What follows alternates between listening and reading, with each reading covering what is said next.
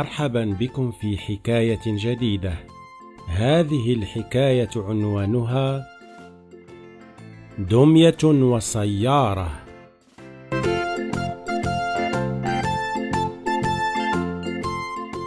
عاد الأب إلى البيت.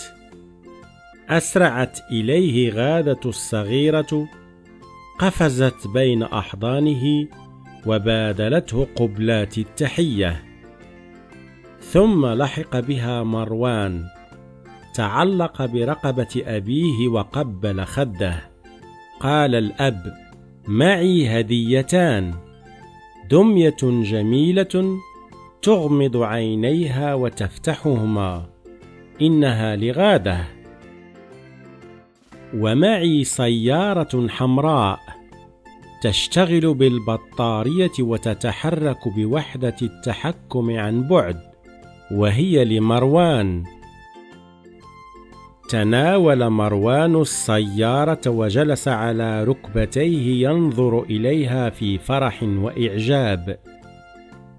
ثم أخذ يسيرها عن بعد على الأرض.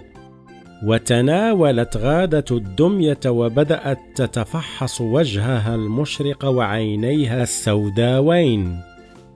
وتربت على شعرها الناعم وفستانها الأنيق.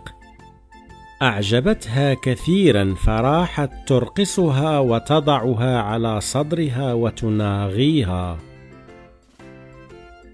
أغمضت الدمية عينيها فقالت لها تعبت يا عزيزتي تريدين أن تنامي. إن الصغار ينامون باكرا. وضعت غادة الدمية في مهدها وغطتها ثم بدأت تهدهدها. اقترب منها مروان وقال غادة أعطيني دميتك. رفعت غادة رأسها ويدها على فمها وقالت بصوت هامس لا ترفع صوتك دميتي نائمة. لماذا تريدها؟ لتسافر معي في سيارتي. إنها نائمة. اتركها حتى تستيقظ.